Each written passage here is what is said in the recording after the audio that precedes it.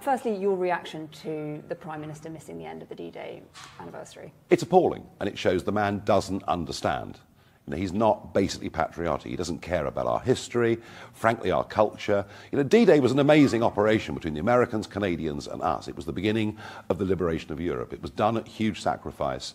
There are still people alive that were there, and they were back on those beaches. It's the last time they'll ever be there. But that didn't matter to the Prime Minister. No, getting back to do an interview seemed to take a higher priority. And it shows just how disconnected this Prime Minister is. And that's a big problem because the one thing you've always associated the Conservatives with is being a patriotic party. Well, it's now got an unpatriotic leader. Is it as much about the people around the Prime Minister advising him as it is about him himself?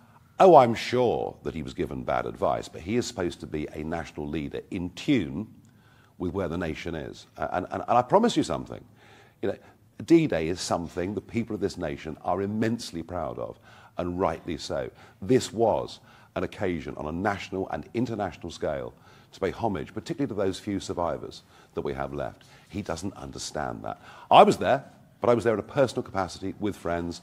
I raised money for a charity, a lot of money to get veterans out there. And, and honestly, I think I'm much more closely attuned to where the country than he is.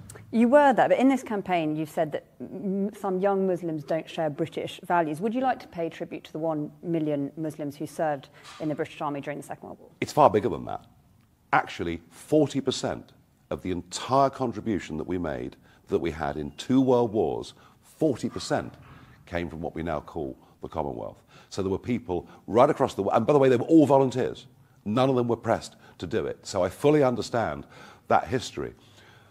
The problem that, that, that, I'm talking about is a separate problem of 18 to 24 year old young Muslims who are born in this country who, have, who increasingly are being radicalized. Do you understand why people have found those comments uncomfortable, to say the least? Why it has been, you know, taken on by people? You say you're not racist, but it has been used by people who are racist to fuel their arguments. I'm not interested in those people, and thank goodness in this country they are a tiny minority fringe.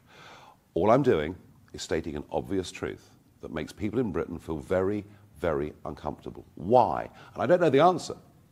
Why are young British born Muslims being attracted to jihad and radicalism? And, and if we don't talk about it, we've no chance of dealing with it.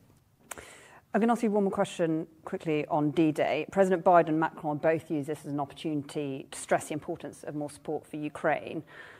Um, you once spoke of your admiration for Vladimir Putin. No, I didn't. You, you said he was an operator, as that, you put it. Well, that's not admiration, is it? So let's get this right. I said he was. Do you still think? He, I said he was an unpleasant human being. I wouldn't want to spend time with him, but he was a very clever political operator. Let's, so, so let, let, let's let's get the context right, shall we?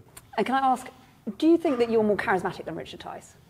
Oh, goodness gracious me, that's not for me to judge. Do you? Go on. I don't know. I've no idea, but I am more charismatic than Starmer and Sunak. Of that, I have no doubt did, at all. How do you take the news that you were bigfooting him this week? Look, he, he'd been urging me to do this for the last few months. I was the one that was reluctant.